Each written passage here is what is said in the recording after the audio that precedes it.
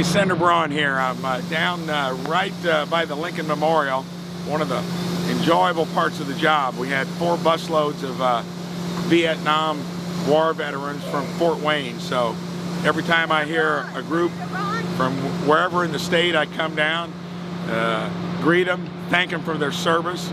It's amazing to see them, and uh, I enjoy doing it. So you Hoosiers, take care.